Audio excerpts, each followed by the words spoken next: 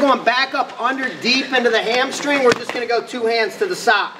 All right, so most of you guys are doing a real good job of getting there and high legging. We just got to clean up our pass a little bit. All right? So, this single leg, I'm going to stuff the head, clean the grip. I'm getting to this 90 degree position here. Okay, we've gotten here, we're driving off this foot, nothing's changing. Now, I got to make sure this knee is at least under my chest. I don't want it way back up here near his head, and I don't want it too far back. All right, so I'm driving, I'm getting down to his both knees. Now, in order to high leg over, I've got to drop my chest down to my knee.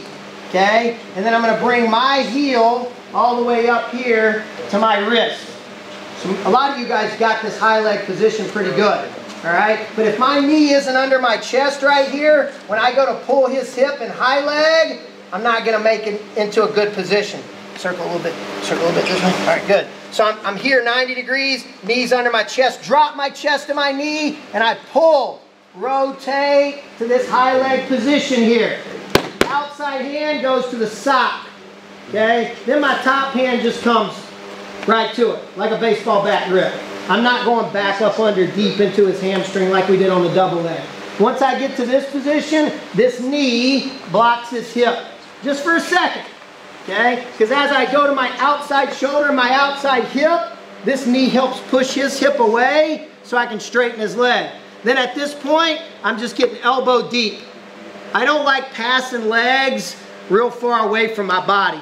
I'm very unstable here. When I get elbow deep and get it trapped to my ear and I've got him stretched out, then it's nothing but feet in the mat, controlling the leg. And I like when I'm when I'm when I'm rolling with my leg pass, if I can, I like blocking his knee with my knee. So as I'm rolling to my right, I'm blocking his knee with my knee. So when I get to my hip right here, I'm already in good shape to get to this forced roll position, okay? Where I got my leg half. And then again, I'm just reading those wrists and working towards the legs, working towards the head, okay? So now we're combining a leg pass with our single leg spin out, all right? So again, break the head, stuff the grip, skip the knee, 90 degrees. We're getting to this 90 degree position. I'm driving, making sure he's on two knees, chest drops. Okay? High leg. Tack the sock, block the hip. This is important.